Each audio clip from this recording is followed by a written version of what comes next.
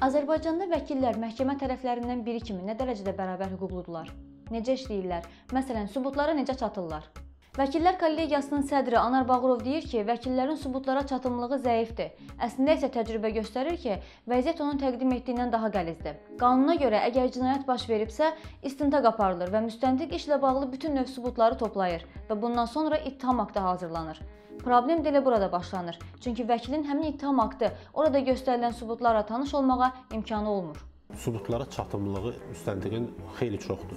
Çünki e, Sovet dövründən qalan ənənə olaraq belə düşünülür ki, müstəntiq sübutları araşdırmalıdır, ittiham təqdim eləməlidir və vəkil də baxmalıdır ki, təqsiri yoxdursa yaxud başqa cür cəzanı yüngülləşdirmək olarsa, müdafiə xarakterli çıxış eləməlidir. Amma vəkilin özünün istintaq aparması, özünün dindirmələr həyata keçirməsi, ifadələr alması bizdə praktikaya yad bir şeydir. Sübutlara çata bilməmək təkcə vəkillər üçün yox, cinayət işində ittiham olunan şəxslər üçün də ciddi problemdir. Hüquqşünas Ruslan Əliyev deyir ki, bu özünü ən çox işgəncə halları ilə bağlı məsələlərdə göstərir.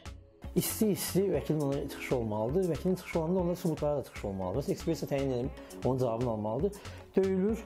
Bəzən skotla falan və s. üsullardan istifadə edirlər, yaxud elə formada döyürlər ki, iz ya qalmasın ya da tez getsin. Ondan sonra görüşdürürlər vəkillə.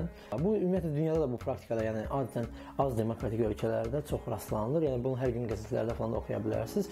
Və bu o, ən böyük problemlərdən biri budur. Yəni təsəvvür edin ki, siz silahınız budur və siz o silahdan məhrumsunuz. Necə döyüşəcəksiniz? Qalırsınız tərk silah olmuş vəziyyətdə.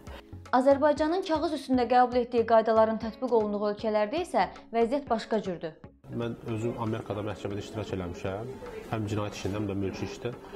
Və orada məsələn hakim ümumiyyətlə prosesə müdaxilə eləmir. Ümumiyyətlə ağzını açmır, sadəcə gedişata baxır. Hətta yəni e, mübahisə qızışanda da idarə etməyə cəhd göstərmir. Və tərəflər bir-birlərinin üzünə baxa-baxa, həmçinin anlayıcılaşçıların üzünə baxaraq özlərini sübut eləməyə, mövqelərini sübut eləməyə çalışırlar.